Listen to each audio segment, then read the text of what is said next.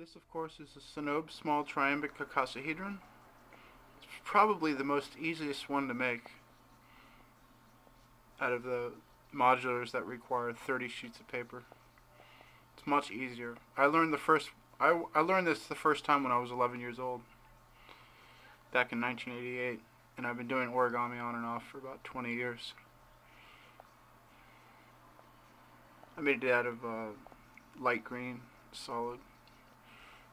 Again, it's really easy to make.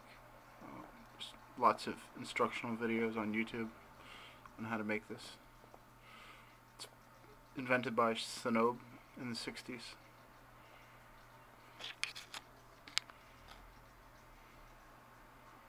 Uh, please feel free to subscribe and comment, and I'll subscribe back to you and comment.